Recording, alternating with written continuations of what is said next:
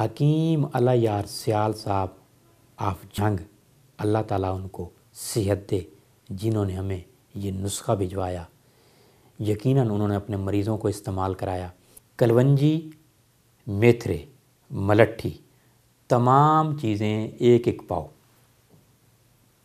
हल्दी और चास्कू, एक एक छटांग। मगज़ बादाम, देसी। देसी मगज़ बादाम आपने लेने हैं। एक अमेरिकन होते हैं, एक देसी होते हैं। चने भुने हुए ये दोनों चीज़ें, मगज़ बादाम और चने, दोनों चीज़ें आधा आधा पाओ। इसका सफूफा बना। और एक चम्मच सुबह, एक दोपहर, एक शाम को लीजिए।